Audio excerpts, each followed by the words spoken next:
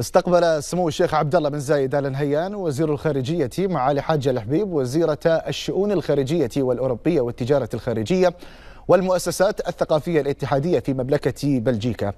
جرى خلال اللقاء بحث العلاقات بين دولة الإمارات ومملكة بلجيكا والسبل الكفيلة بتعزيز مسارات التعاون المشترك في المجالات كافة. ورحب سموه بزيارة معالي الوزيرة للشؤون الخارجية والأوروبية والتجارة الخارجية والمؤسسات الثقافية الاتحادية في مملكة بلجيكا مؤكدا عمق علاقات الصداقة بين البلدين. كما بحث سمو الشيخ عبد الله بن زايد آل نهيان ومعالي حاج الحبيب التطورات الراهنة في منطقة الشرق الأوسط وفي مقدمتها الأزمة في قطاع غزة ومحيطه وتداعياتها الأمنية والإنسانية.